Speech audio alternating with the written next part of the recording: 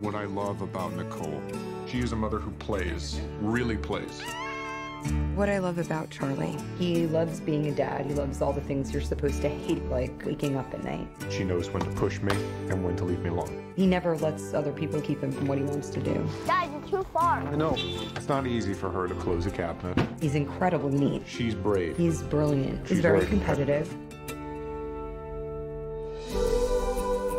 So I'll tell Charlie what's happening, and Cassie, you then hand him the envelope. I just get nervous. Can you unserve? What do you mean, like take it back? Charlie and I are getting a divorce, Mom. You can't be friends with him anymore. Dream Ma! Charlie Bird! Mom! Mom? Mom! What? You know, most people in my business, you're just transactions to them. I like to think of you as people. Oh, okay, good.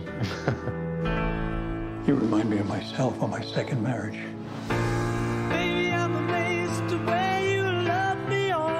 Part of what we're gonna do together is tell your story. Did you dye your hair again? Oh, this is me.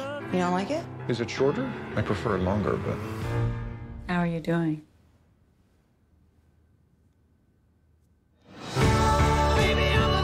I realized I never really come alive for myself. I was just feeding his aliveness. I'll never get to really be his parent again. He needs to know that I fought for him.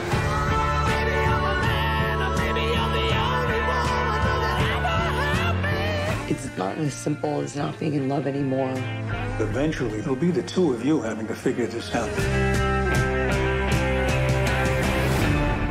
Together.